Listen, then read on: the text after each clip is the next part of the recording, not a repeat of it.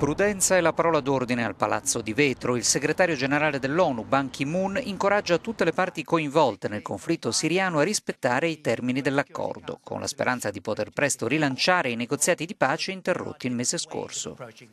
Ma i margini di incertezza restano ampi, come ammette il numero uno della Commissione d'inchiesta delle Nazioni Unite sulla Siria, che ammonisce l'accesso del personale umanitario alle aree assediate e il rilascio dei civili detenuti in modo arbitrario, in particolare quando si tratta di donne donne, bambini e anziani devono essere elementi non negoziabili e devono avvenire immediatamente.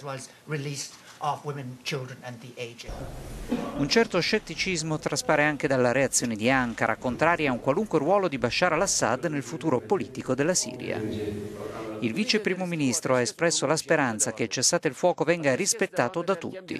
Pur senza citare Mosca, ha detto spero che qualcuno non ne approfitti per uccidere civili innocenti anche durante la tregua e spero che tutte le fazioni siriane, compresa l'opposizione moderata, prendano parte al processo di ricostruzione politica che potrà iniziare una volta conclusi i negoziati.